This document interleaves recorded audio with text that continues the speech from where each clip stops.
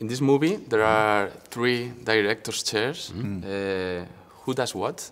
How is to to work three directors in, in a movie? Mm. Right. Well, yeah, I mean, the, the short answer is, is we all do everything. Um, but that said, uh, you know, uh, you know, an animated movie is a really complicated undertaking. You know, it takes years. You know, there's hundreds of people working for it. You often are doing various different things in production at the same time.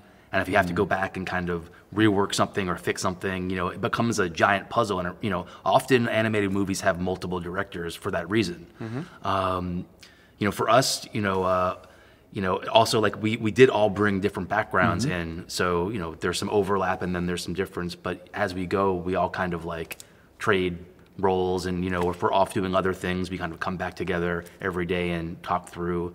We all have a shared vision. We're all we're trying to make something that felt fresh and different, and that was the goal. And um, if we had you know differences or debates, then you know the idea is that that makes the movie better. Yeah, there'll be plenty of times where maybe Rodney is working on script pages.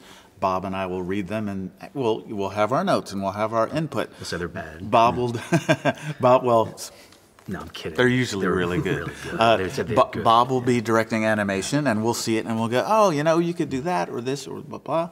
Uh, I'll be working with the, our storyboard team or uh, or our layout team, uh, you know, breaking down new sequences. Bob and Rodney have input on that, so we're, we're all touching various parts of the movie at any given time. So it, it reflects all of our sensibilities. Yeah, the movie's about a diverse group of spider people who have to work together. So, it, it makes sense. yeah, yeah, and we, we even have a costume. So. yeah, we worked in costume. Uh, is there anything you said uh, this wouldn't have been possible in live action movie, uh, Spider Spider-Man live action movie? There are things about it that I think definitely you could not have done in a live action movie. Um, uh, you can do a lot with live action now, and you know a lot of those things actually are animated in live action, so it's a little bit cheating.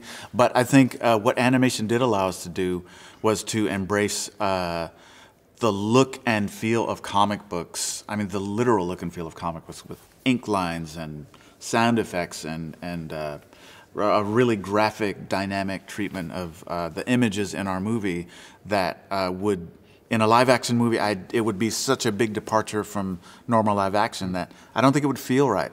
But in an animated movie, we're able to sort of uh, seamlessly move from uh, different different kinds of visuals and get the same impact that you do from a comic book. And uh, is there any relation uh, this movie with the shared universe that is building Sony Pictures? For example, Venom or. Uh-huh.